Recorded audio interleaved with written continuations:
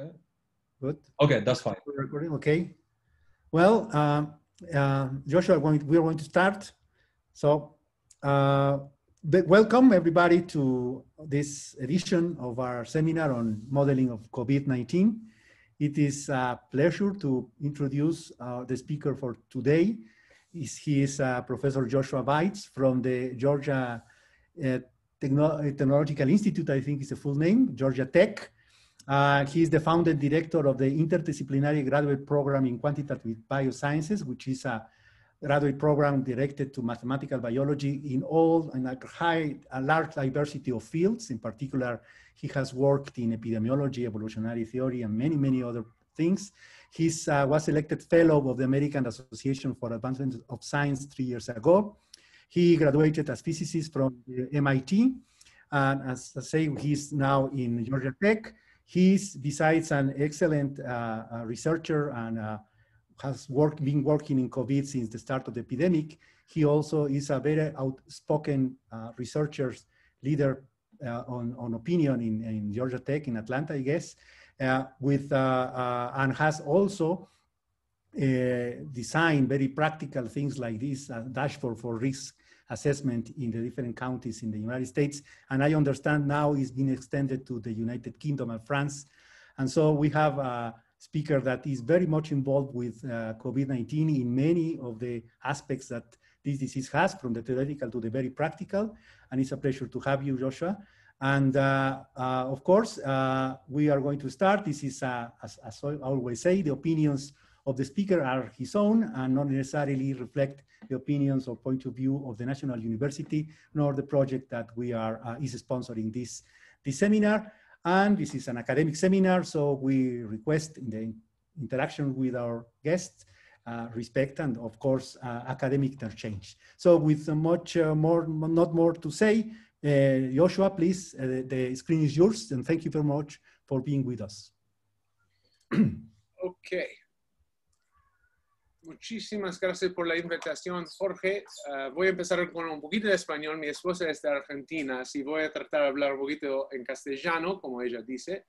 Y también a decir que sí, yo soy director de este programa de QBIOS, es un programa de PhD eh, que hace ya cinco años que fundamos este programa y eh, todavía estamos buscando más estudiantes que quieren empezar un programa de intersección entre biología, matemática, computación, y si quieren uh, uh, aprender más, a ese sitio de web qbios.gatech.edu.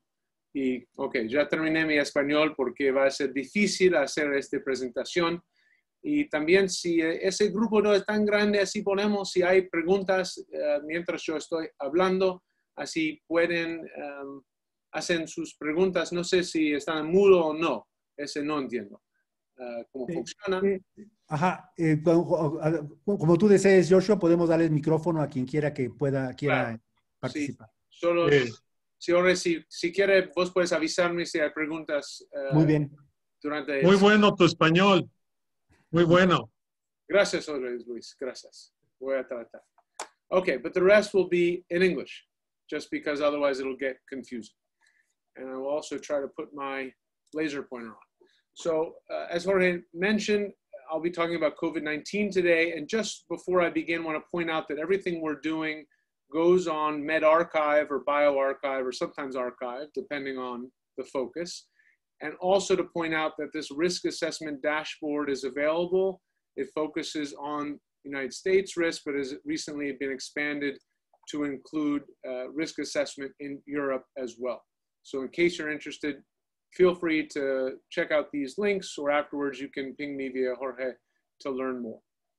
And also before I begin, it's important that I recognize and acknowledge the support of various funding agencies which have made this possible. And as you all know, often it wasn't what we were working on uh, in the even narrow sense, but certainly in the broad sense, we had been working on epidemic dynamics for a while, but really focusing on virus microbe dynamics. And graciously, many of these funding organizations have been supportive of our efforts to shift and really do, frankly, a third shift of work here to try to support COVID-19 modeling. And it's been an interdisciplinary effort, both within my group, but also with collaborators at Georgia Tech and more broadly.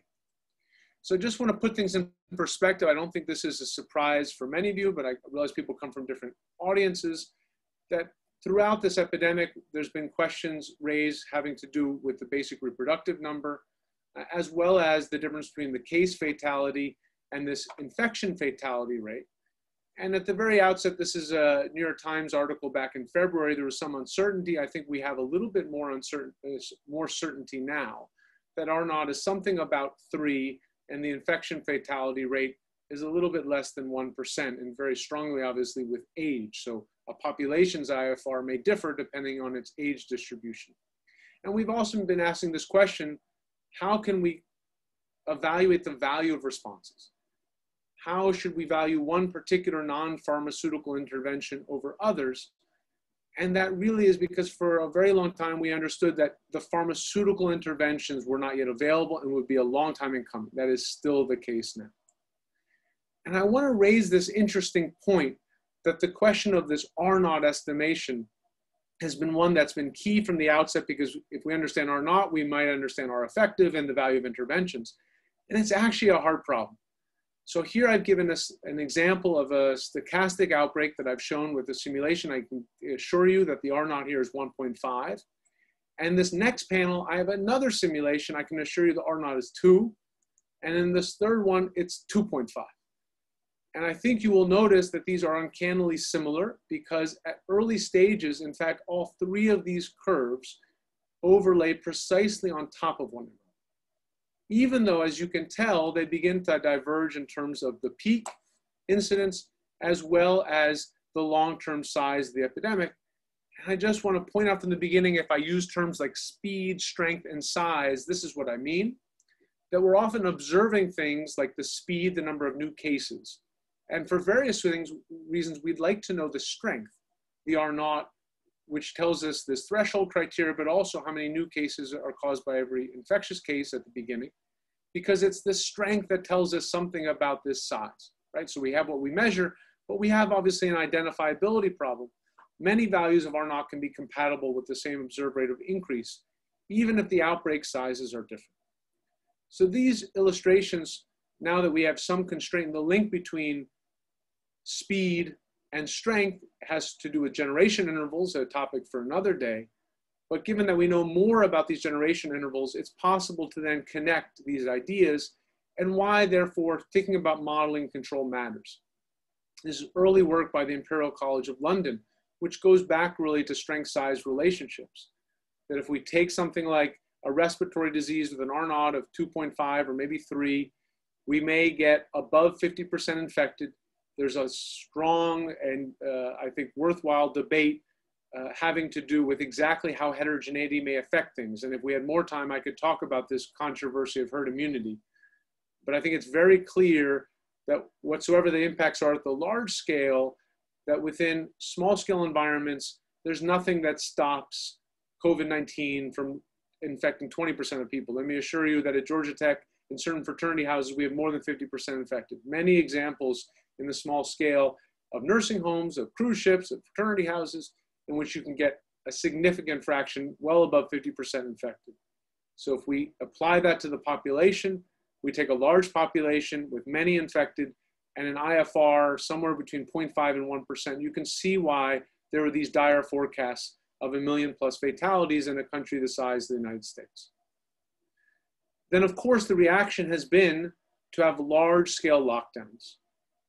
And now these interventions are certainly have had positive benefits with respect to deaths averted. This is early reports, again out of Imperial College London in March, published in Nature in June, estimating tens of thousands of averted fatalities.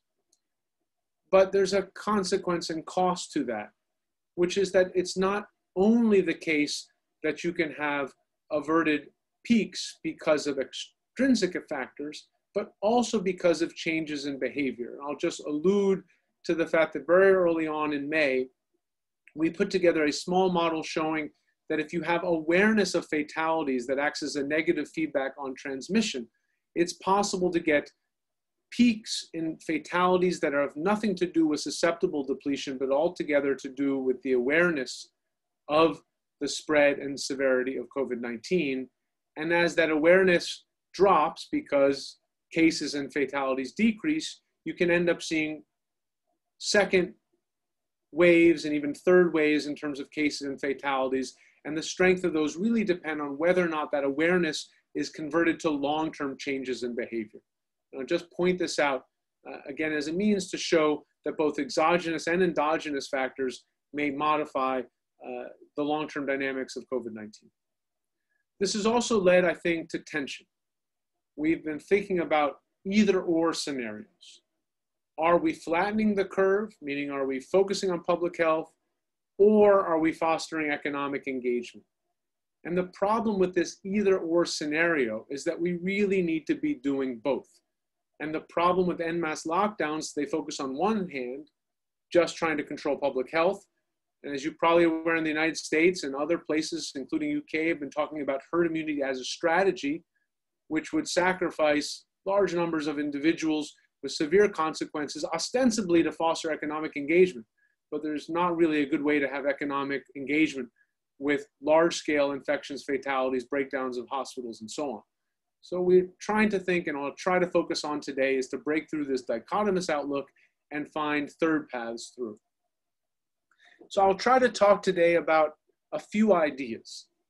How could we use modification of behaviors, but also really testing and tracing to identify individual disease status and therefore do something about COVID-19 that doesn't necessarily involve large-scale lockdowns.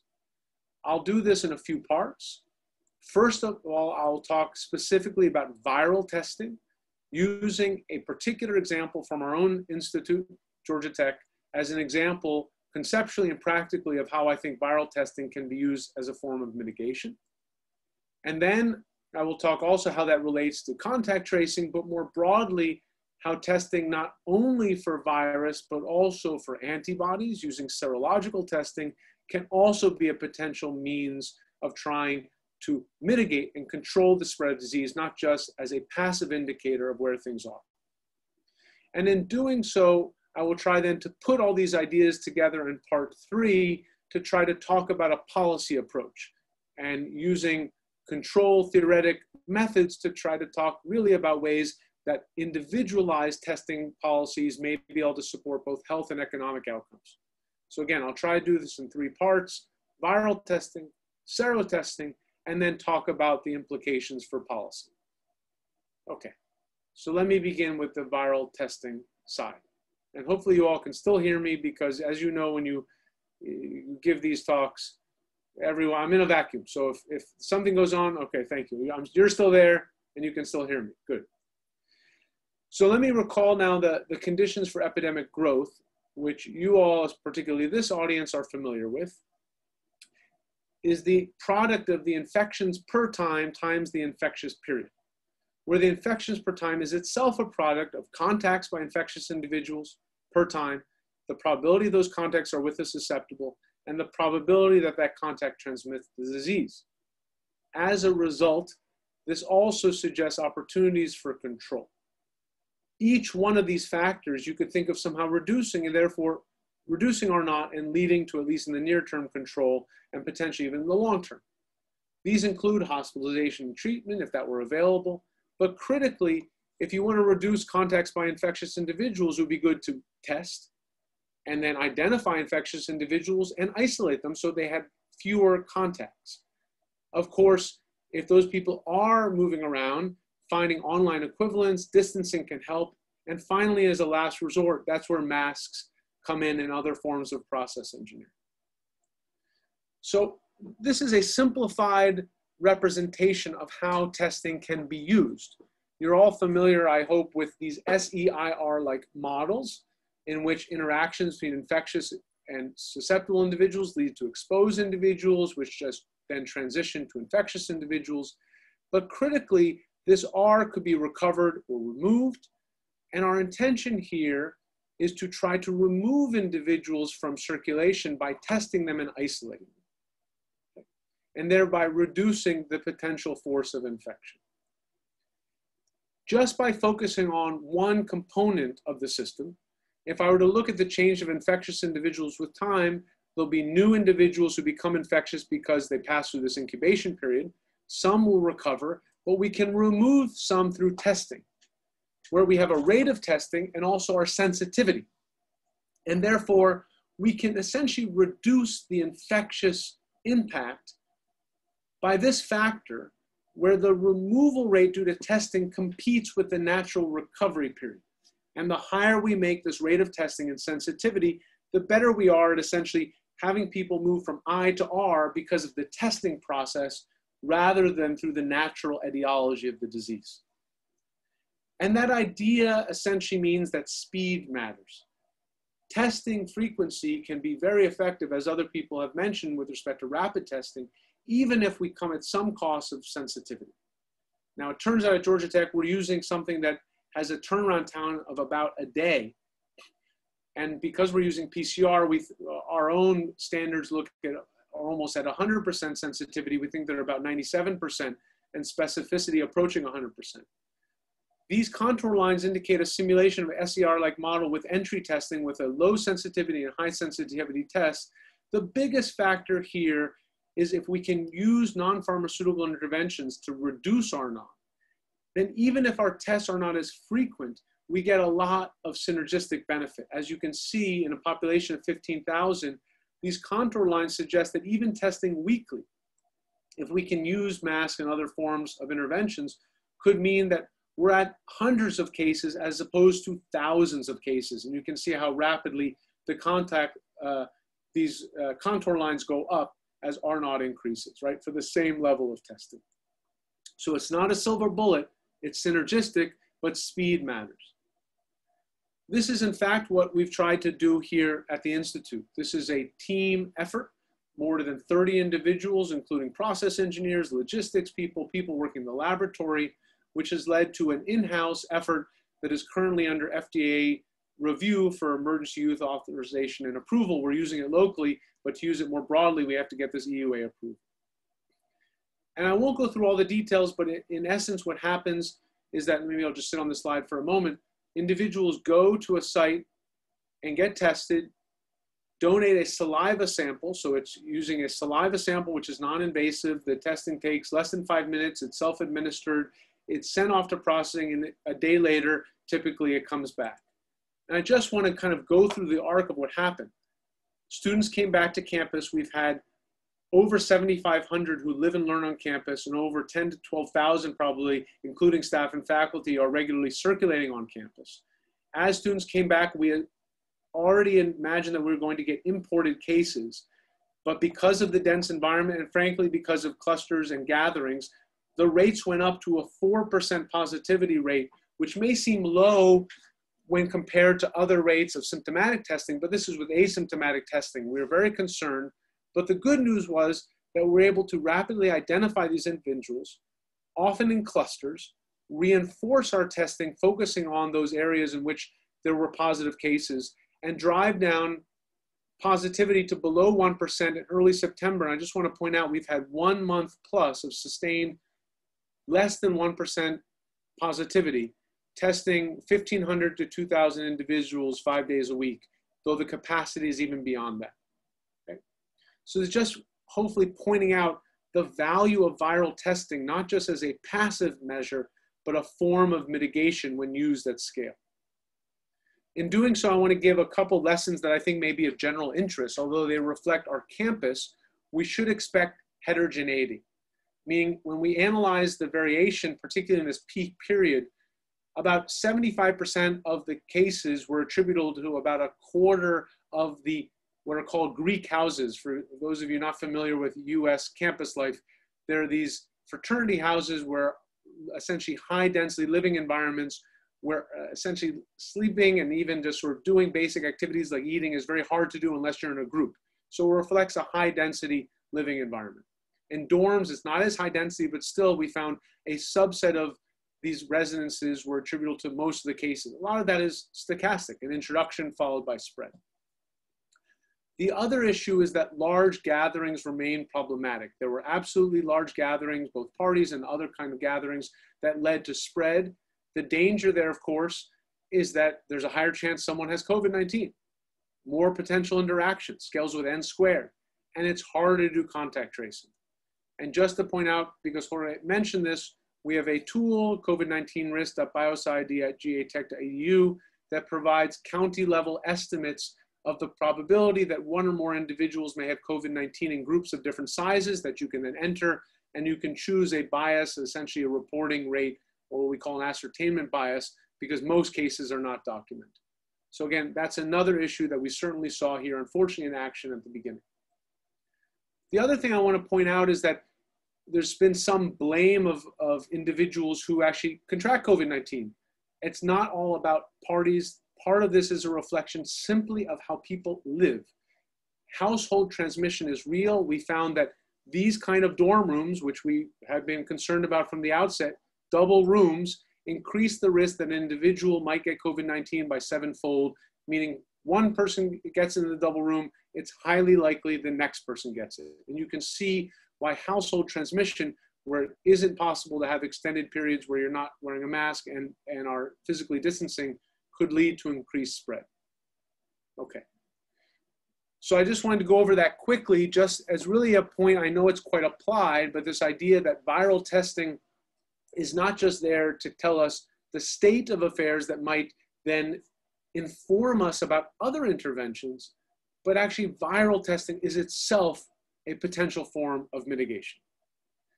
Now I want to talk about another idea also related to testing, which is testing for antibodies, which in our view can also be an, a form of mitigation and like viral testing remains underutilized. Any questions at this stage or should I keep moving ahead? I think I think uh, I think we are fine. Maybe uh, you you go ahead, and That's if fine. there are questions, I uh, yeah, please. So early on, and this is about May of this year, we made a proposal for what we term shield immunity. The idea is that if one could test for virus and antibodies and find individuals who had been infected but are no longer shedding virus or even uh, PCR positive, which may not mean, mean infectious virus, but maybe just remnants of virus, those individuals, if they could increase their interactions, they could dilute potentially risky interactions between susceptible and infectious individuals. And we call this shielding. In other words, recovered individuals preferentially interacting with susceptible and independent with infectious individuals. Both of those are not going to lead to a new transmission event and therefore would potentially reduce, act as a negative feedback on spread. In other words, if there are individuals who have unknown status the response has often been to cut off all interactions. But our hope here is that by identifying individuals who are recovered, that could lead to preferential interactions with recovered individuals, therefore personalizing the response rather than leading to these en masse lockdowns. In other words, lockdowns for everybody. And again, the scale and type of testing matters. PCR provides the snapshot. Are you shedding virus now? Are you infectious now? Serological testing provides a history have you been infected recently or in the past? And yes, there are rare examples of second infections, but given the many millions of cases, the very small number of reinfections suggests that recovery for the most part implies immunity. The duration is still unknown, but I think there is some confidence, at least we're talking six to eight months at least as being a baseline. And the farther we go out without seeing these reinfections, the more confidence we have that the bulk of people will continue to be immune at least over that time scale. SARS-1 and MERS also suggest multi-year uh, immunity. Of course, seasonal beta coronaviruses, the expectation had only been on the order of months. We can translate this idea in terms of a very simple ordinary differential equation model where we have changes in susceptible, infectious, and recovered, in which instead of this bilinear term, beta SI, the dilution, if we actually explicitly write down the force of infection, shows up in the denominator, where alpha is the essentially the shielding strength. And if individuals don't change their behavior, this reverts back to the classic SIR model. But as individuals who recovered increase their interactions, you can see that this reduces the force of infection, diluting out those interactions. Here then is the epidemic size in these kind of models as a function of shield strength with different levels, uh, different mechanistic models. This is the herd immunity threshold for this particular uh, model where R naught is three. And the point is that you can have epidemic sizes that stop well below that of herd immunity as long as individuals uh, engage in these substitutable interactions.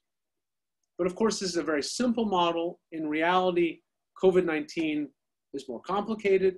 It's been hard to control in part because individuals who are exposed may go through an asymptomatic but nonetheless infectious stage. And some individuals may become symptomatic. And I, as you know, there's also pre-symptomatic transition between asymptomatic and symptomatic. Here I'm using asymptomatic as people who have subclinical or, or mild cases that would not be identified or classified as symptomatic. Amongst those symptomatic individuals, some may be hospitalized, but subcritical, some may be critical. And obviously the, the majority of folks recover. Unfortunately, many people, uh, as I said before, somewhere between 0.5 and 1% uh, of these infections end up being fatal. So we took this idea of shield immunity and applied it to this more complicated case and found again, a take home here is that these effects are often synergistic. Here I'm look, you're seeing a contour map with shielding and social distancing. The key takeaway here within these contour maps is that if you have a fixed level of shielding, we can do more if we use it synergistically with social distancing. In other words, that instead of having severe social distancing, you can use some social distancing and some shielding to lead to the same level of reduction in total fatalities. So the point here is that less intense social distancing and shielding could have population-wide benefits. We've also evaluated the feasibility uh, of this, adapting these SAR-like models to include the analytic features of serological tests, including false negatives and false positives. And the idea here is we take these SAR-like structures, but then distinguish between test negative and test positive individuals and obviously what we want are these true positives, recovered individuals who we identify and who are effectively shielding. What we don't want are individuals who are susceptible, exposed, and have false positive, and then they increase their interactions. Okay? And the key takeaway here is that insofar as we minimize these false positives with the use of uh, highly specific tests, then this kind of strategy can still be effective. And that's what I'm showing here that if we have this relaxation of social distancing and test capacity, what we want is on the one hand, reduction in fatalities. This is cumulative deaths, so blue is good, fewer fatalities, but also more people released from these severe social distancing. So we're trying to balance here public health and socioeconomic outcomes. And the point is that some relaxation of social distancing, as long as we have sufficient tests, can be useful on both the public health and the socioeconomic side, even with imperfect tests.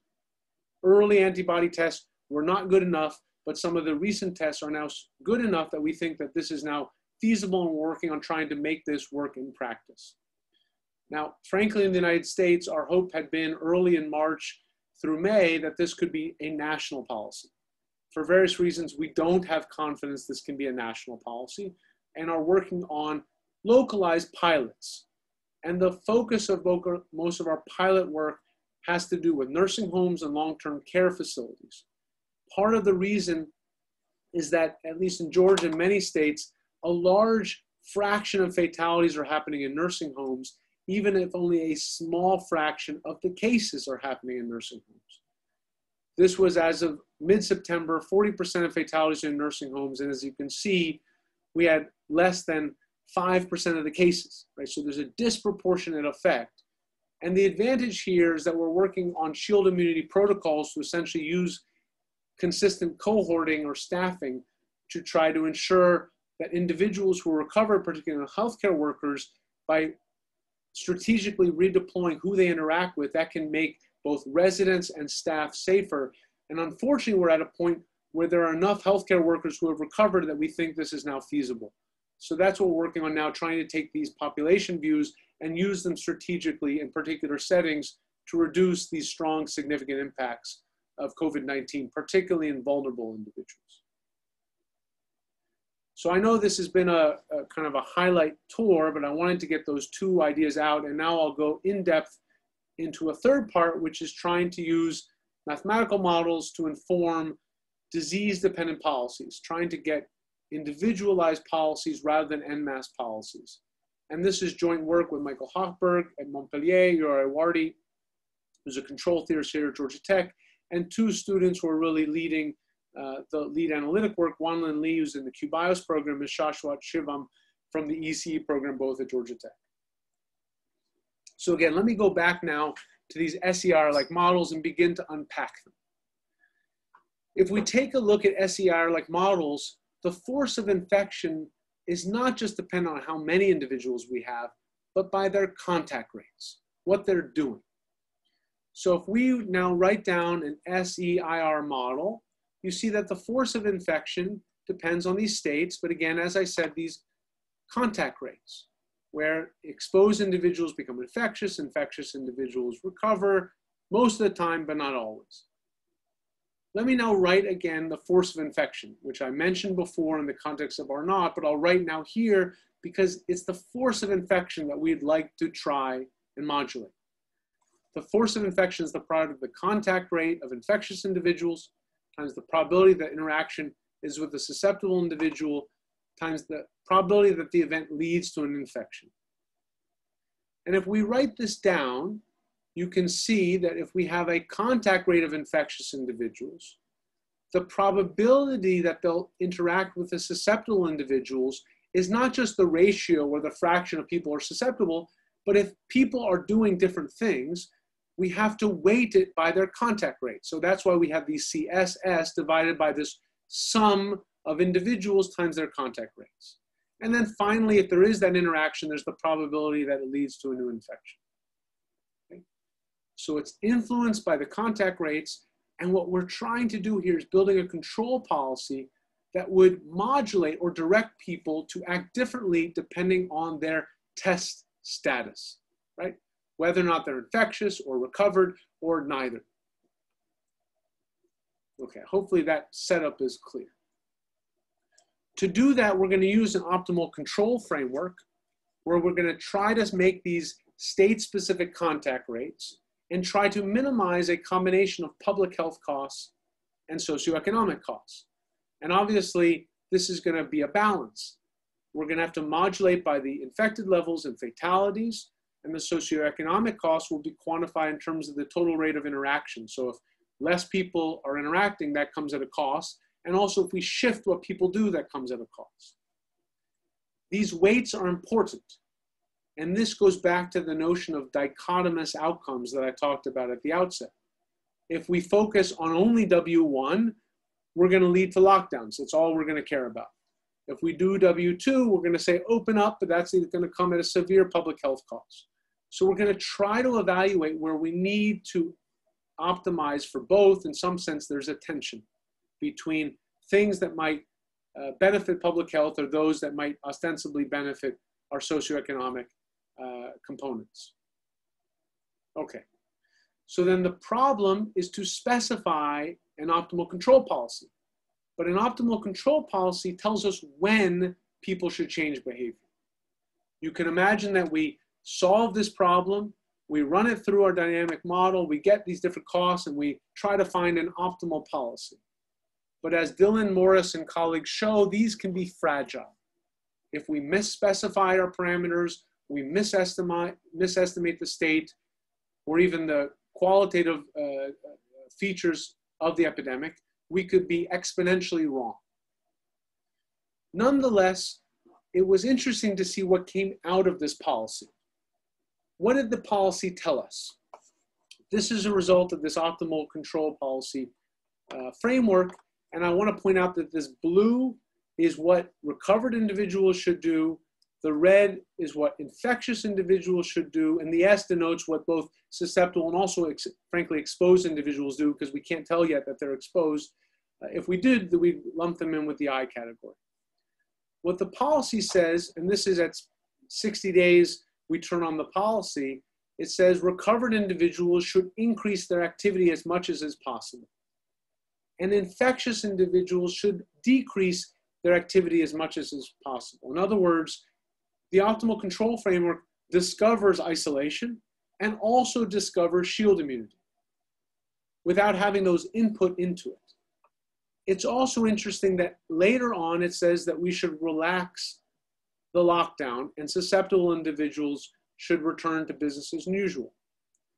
So it tells us that what we're going to try to do in some ways is instead of looking for an optimal control policy, maybe what we should do is look for a feedback policy that takes these extremal features, isolation and shielding, but then tries to find a state rather than a time where we should emerge from lockdown for susceptible individuals.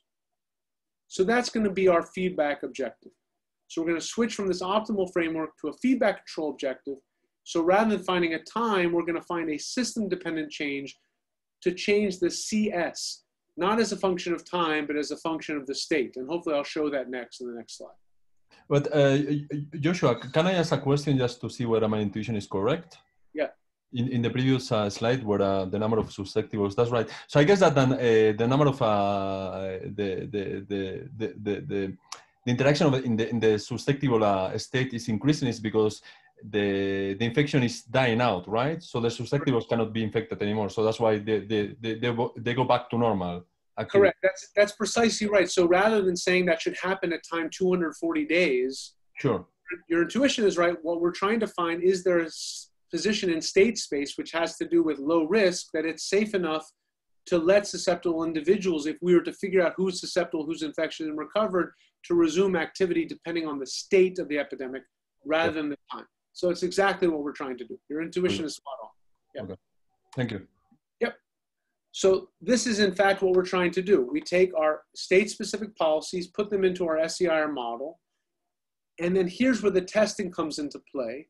Try to measure the state of the epidemic via viral testing and serological testing, and then try to identify a control policy to modulate what these state-specific rates should be. Okay? And what we're going to do is impose that ice, infectious individuals, yes, should isolate. Recovered individuals should increase their activity as much as is possible due to shielding. The question has to do with what about everyone else? So this then is the result of what everyone else should do. Let me orient you here to explain the result. These curves, these black curves, denote the trajectories in phase space. The x-axis is the infected fraction. The y-axis is the recovered fraction. The, you see 16 of these, which means up top, testing and isolation is relatively ineffective as we go down in these rows. And as we move across in the columns, the efficiency of our shielding increases. So let's focus first of all for a fixed level of shielding. You can see that when we have ineffective isolation, we have to sit for a longer period in this gray zone where it's lockdown. And only when we get here a higher level of recovered individuals up into nearly 20%, can the susceptible population essentially go back to normal. However, the more that we have shielding, you see that this position drops down and only actually after about 10%, we can release from lockdown.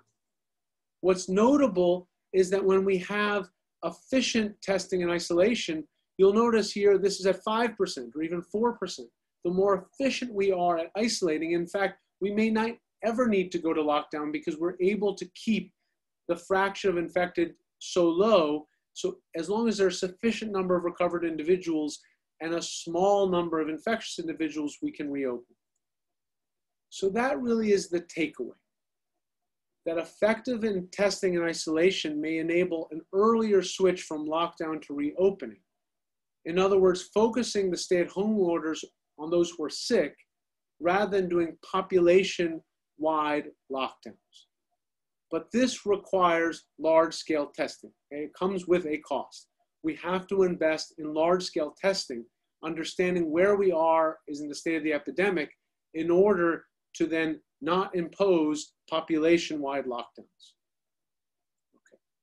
So hopefully that takes us through a kind of a whirlwind tour. I've tried to do this in abbreviated time. I know it's the end of your day. And I've tried to communicate three ideas.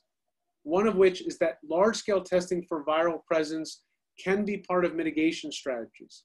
And the concept is simple. And I think it's important in COVID-19 to recognize that if we can have simple but actionable ideas, they may actually turn into policy. And the idea here is simply that if we test enough, we can pull people out of this infectious pool and move them into the removed category rather than waiting for them to recover, stopping chains of transmission before they start. Likewise, I've talked about serological testing. It can be useful to understand the denominator. In other words, how many people have in fact been infected, but I think we can use it more aggressively if we're able to try to identify recovered individuals, and particularly in circumstances like healthcare settings, this may be used to shield vulnerable individuals, an idea that's also shown up in pertussis and cocooning to protect those individuals from infection and severe effects.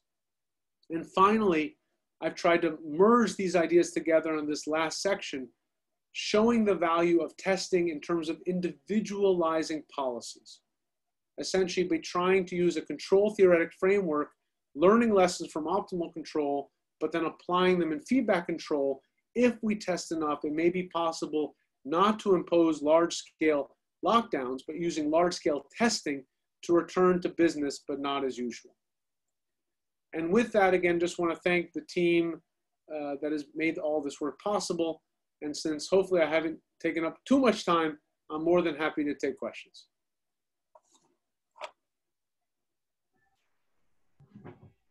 Uh, Jorge? Okay. Yeah. Uh, well, uh, Joshua, th thank you, thank you very much for this uh, very, very interesting talk. It, it, has been actually very illuminating for me, and I must say that uh, even when sometimes uh, one thinks that uh, compartmental models ha have their limitations, it, it, it, it is clear in your talk that you can get very, very brilliant and very useful ideas out of them, actually. Uh, uh, having said that, uh, colleagues, do you have any questions? I think, so let me Luis put here. Ah, Luis, come on, Luis, go ahead. So uh, I thank you very much for the for the talk. Really, very very illuminating, as Isaac said. I have two questions. So the first one is, what about the cost of testing? So you spoke about two different tests. What about? I mean, how much does each one cost in whatever currency? And the second question is, what about reinfections? So Yeah. now there is a discussion whether, I mean, uh, people can or not be reinfected. Let me answer, I'll try to answer both questions. I think with the question, at least in the United States, and I, I recognize this is a United States answer, but with respect to our test at Georgia Tech, I can just give you that example. As I spoke with the folks who lead the lab side, we do pooled testing. So we take five tests and pool them together. And only if one of those five is positive, do we move to another diagnostic test. But even that test costs the same amount. It costs mm-hmm. less than $10 for a pool test. A cup of coffee, Right. Okay. un, un, un café, right? Sure. Like not even a fancy one, like just the cheap one. Now the question is when you scale that up, the logistics actually become limiting. Yes, we have to have the infrastructure, but let me point out, and this is a critique of the United States response. There's recently been a discussion how Fauci and others push for the $9 billion worth of funds to be used for testing and were rebuffed. If I take a $2 test just as a kind of a, as a benchmark, I get that there are all these ancillary costs. We have 330 million people in the United States, right? You could do 15 weeks of testing for everyone. I mean, that's not, obviously, we don't need to do that, but you could use it at much larger scales and it wouldn't be that expensive. The cost of having the infection is much worse. Now, there are other issues there. There are rapid tests too that are coming to market. So I just don't think we have not invested in testing, not because of the cost, the financial cost, but I'll be frank, I think it's because people have not wanted to look bad. They don't like the idea that it might make them look bad. This mm-hmm. has been stupid. Yeah. Testing is not just a means of passive, getting a passive sense. We should be using it actively. With respect to the antibody test, there have been issues there because to take an antibody test, there's often involved phlebotomy, a, a blood draw, you need a physician, that's longer, but there are now increasing these dried blood spot tests, which can also be done essentially with a prick, a finger stick, and so that also is driving down costs. But again, in that case, we're getting to a point where I think we need to show pilot cases. Mhm. For the most part, my issue has been that if we wait for national policies, we could wait forever. We Mhm. need to actually do things at local scales, show that they work, and then hope other people adopt. With respect to your second question, uh, having to do with immunity. From the outset, in our shield immunity paper, we said this could still be effective as long as the duration of effective immunity is six months or longer. We actually evaluated that in the supplemental. You are right to say that we've seen a few cases of second infections. Keep in mind that in the United States alone, I mean, the number of infections, I believe we've passed 7 million at this Mhm. Stage. And hmm. if we think the ascertainment bias is five hmm. times that, this may be tens of millions of cases. A few cases, we're talking about rare tele events on the order of six to eight months. So I, I think we should operate that it is giving us immunity. We don't know how long. We don't know if the second infection two to three years from now may not be, maybe it could be worse. We don't know. There's lots of things we don't know, but thus far it seems to behave like what we expect. Protective immunity over many months, maybe a year or more, but it's buying us a lot of time for those who've been infected, but we're not using that information. So we're not using any of that right now to take any action. So I guess that would be my broad answer to both your questions. Hopefully that is informative. Sure. Thank you very much. Yeah, uh, thank you, Luis, for uh, Luis for the for the question. Uh, colleagues, uh, more questions, please. Just unmute your microphones. Adan Castro. Adan Castro, yes, sorry, you have a question. Please go ahead, Adan. Thank you. Um, okay, I I try to explain myself on English. Si vos quieres preguntar en español está bien porque entiendo. Oh, thank you. Ok, lo voy a hacer en español para que sea más fácil. Eh, Pero, pero lento, despacio. yeah. Well, Estoy escuchando porque el volumen un problema. Sí. I, I, I have to, to wrote it down. Uh, uh, analysis you provide support the idea that testing for COVID-19, even in a population with low positivity ratio, uh, um, by removing infected individuals, so you we can reduce propagation. Am I right? Then, Can uh, someone, can, alguien puede repetir? It, it's very hard for me to hear this question. Just having a, Yeah, for me as well. Jorge, can, can you? Ah, bueno, voy a, aquí voy a traducir lo que puso Adán. A ver, Adán me dice si, si traduzco correctamente. O quizás sería, Adán, si lo puedes decir en español. muchas gracias, eh, doctor, doctor Velasco. Un honor. Sí, órale. Este, sí, bueno, eh, entonces los datos dicen que nosotros re- eh, removemos infectados que están asintomáticos y es, aunque sea muy bajo el índice o, la proporción de, positivos, la dinámica puede ser afectada grandemente. Eso nos da una ventana de oportunidad bastante importante. Pero esto nos lleva justamente a lo que preguntó el, doctor Bennett hace un momento eh, acerca del costo. Pero yo quisiera llegar un paso más lejos a, a preguntar sobre eh, la posibilidad de un análisis costo-utilidad que pueda guiar a los decisores y que ya no sea una situación pues de opinión o de filosofía acerca de las pruebas. Gracias. okay, I don't know if that was a comment.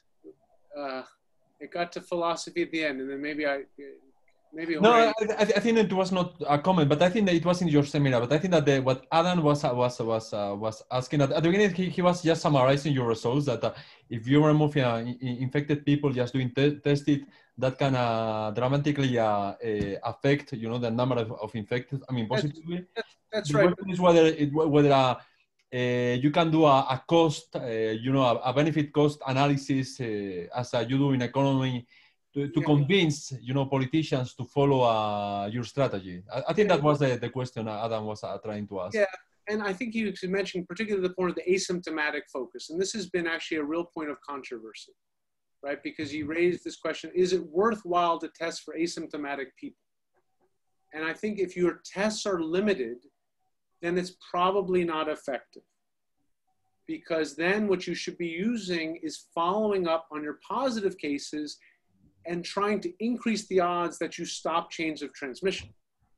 Sure. And to do that effectively, you should test asymptomatic people, but asymptomatic people that you identify in the household or nearby or through contact tracing, right? So that's a more effective use of your limited resources. Mm-hmm. Once you have more resources, then we can really use it as a population-wide effect. And I think, again, that goes back to the question that was raised uh, by the earlier gentleman, uh, which was the cost structure. We've drawn down the, brought down the cost so much because we've developed the technology at Georgia Tech that we can afford to do it at the population scale, right? So that I think has got to be the, and that's going to be where policy switches happen.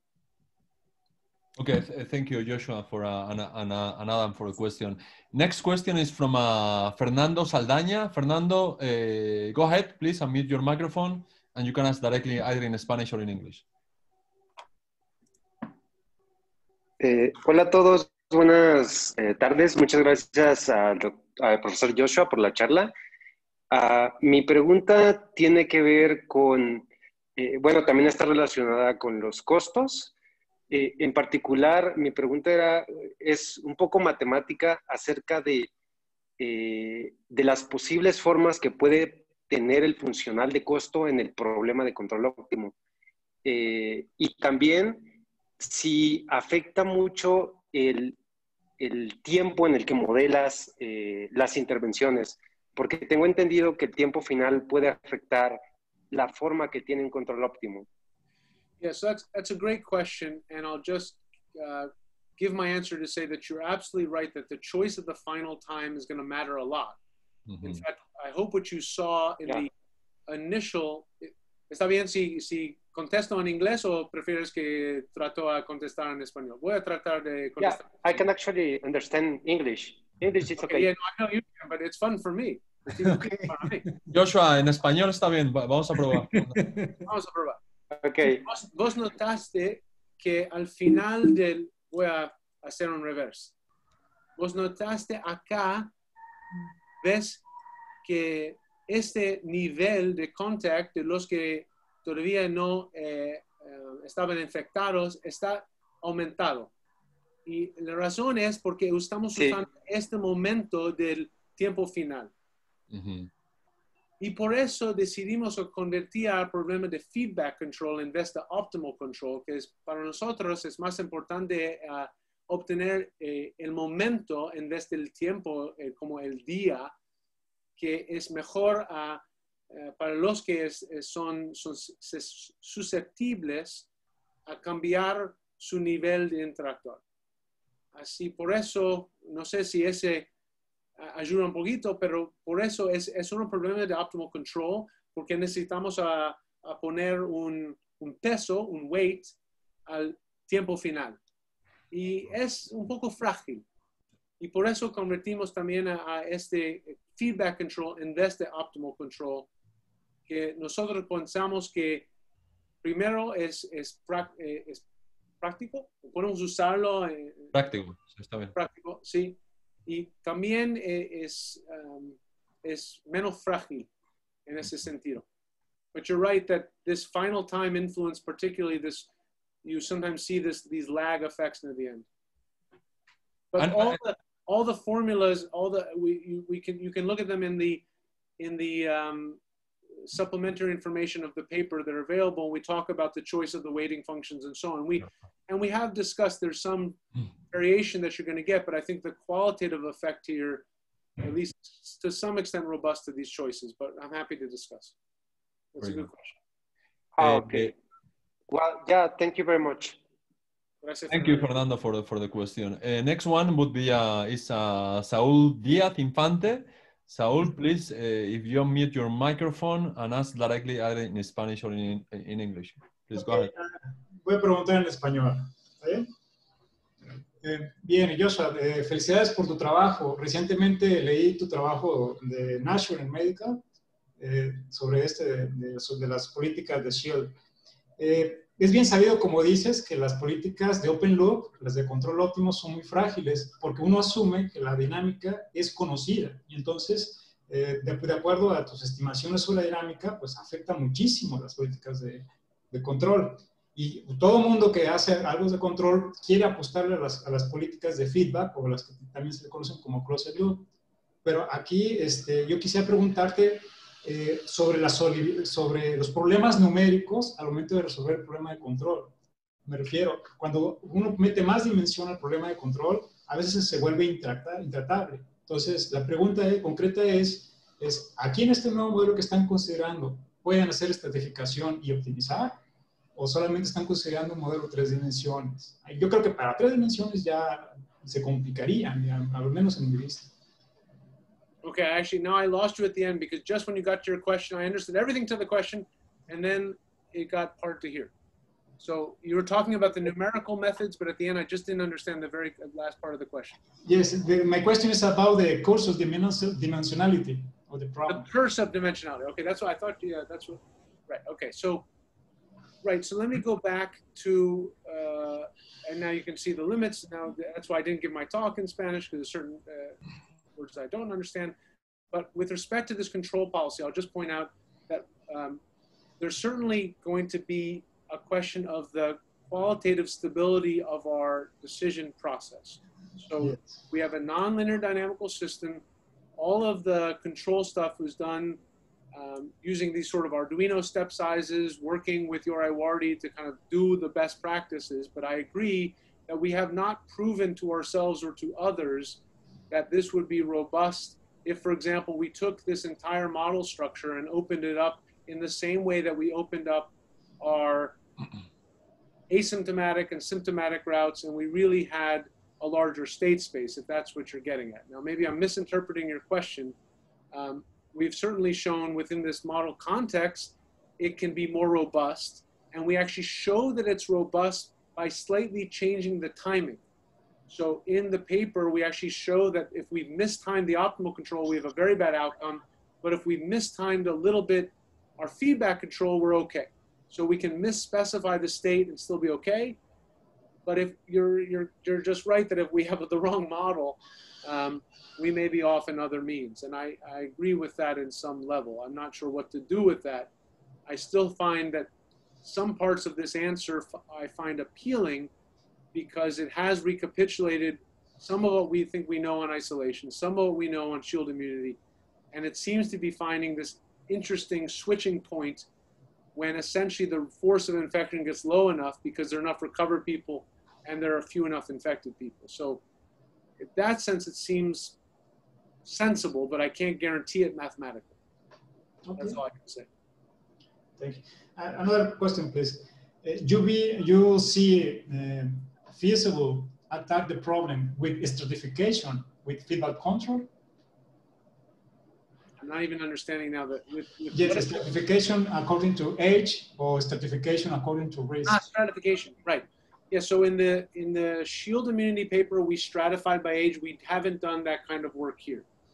We haven't actually demonstrated yet that this next level. I mean, the, the problem is that as soon as you open up the doors to stratification, it never stops.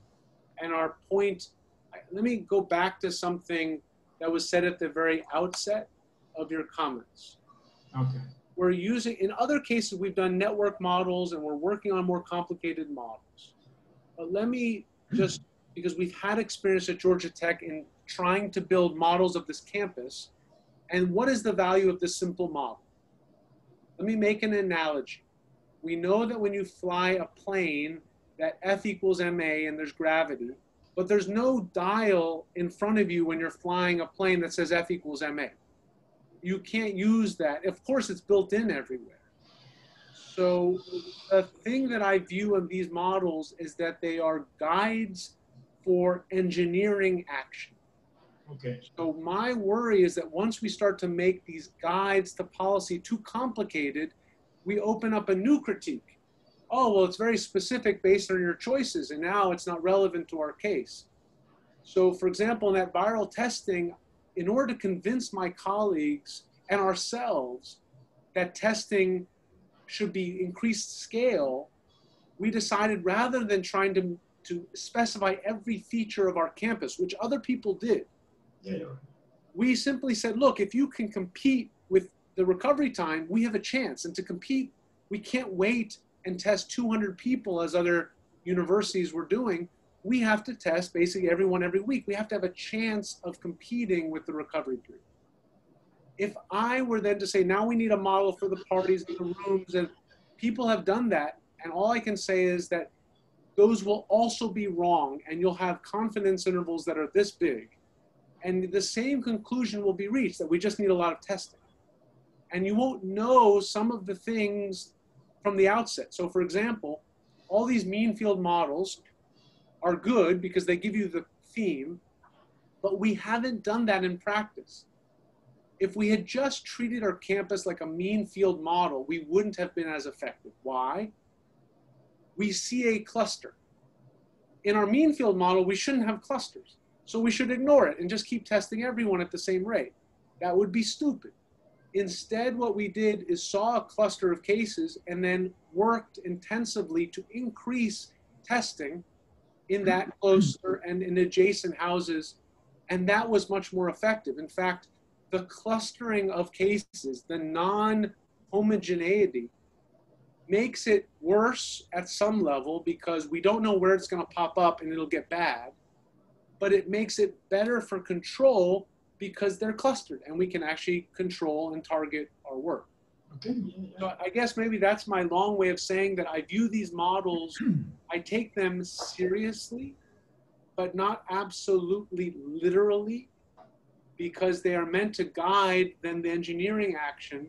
And if we're trying to make the world be exactly like our model, we'll miss the chance to do something effective when it comes in practice. So I, maybe that's a philosophical question or answer to your question, but it's it's one that I actually believe in now, seeing this unfold in practice. Okay. Thank you so much. Thank you, Saul, uh, for the question. Uh, any any other questions, uh, colleagues? Um, if not, Yes, yes, uh, please. Alan. Yes, I, I will talk in English this time.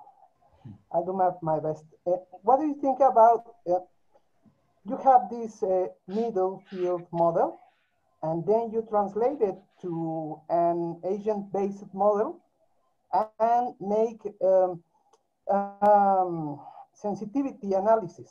Yeah. Do you think there a lot of information is lost in, in this transla translation?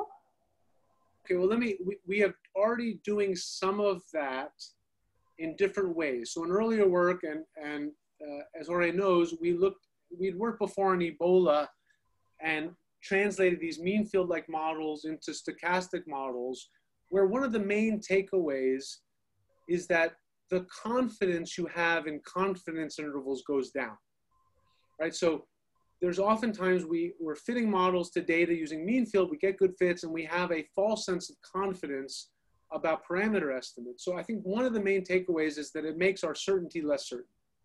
With respect though to action, when we've translated these, for example, the shield immunity case, and it's not done yet, but one of the big things we knew is that we aren't gonna, at least at the start, be able to impose this at the population scale. We might have a particular location with hundreds of individuals. So we started to build a network model. Hmm. And then the question is, how do we do shield, translate these ideals to a network? We have to take the same idea, but rewire edges rather than try to just reduce all activity.